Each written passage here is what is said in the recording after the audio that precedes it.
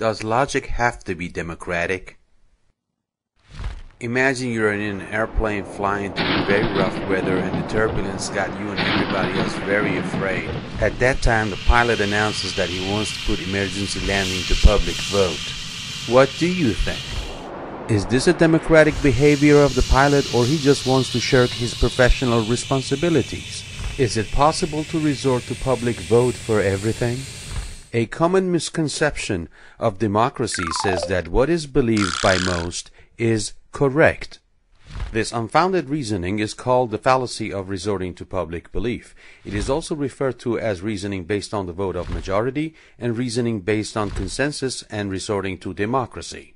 In order to justify their illegal, immoral, or unwise actions, some say everybody does that.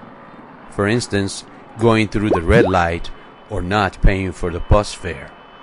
The historical example of this fallacy was the belief that the earth was the center of the universe, which Galileo questioned. But his rightful claim was not accepted as a result of resorting to the opinion of the majority. That method is popular in religious discussions also. For example, they say God exists because millions of Christians, Jews, and Muslims believe that he does. Politicians too are often guilty of this fallacy.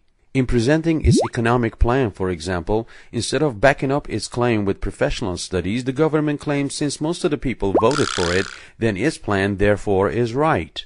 A familiar example of this fallacy can be found in Ayatollah Khomeini's 1981 speech in his meeting with the representatives of the parliament when he said, People want to establish the Islamic laws in this country.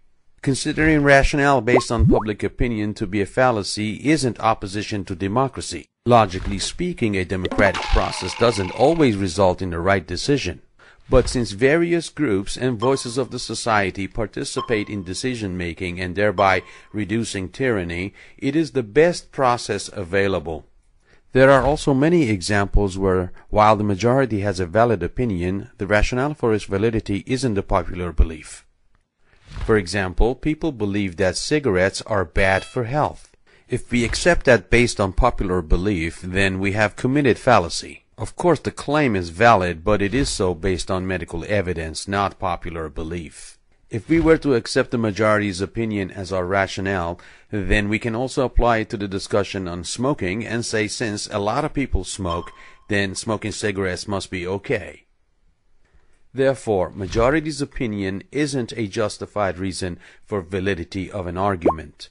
We still need credible and logical evidence and reasoning to prove its validity.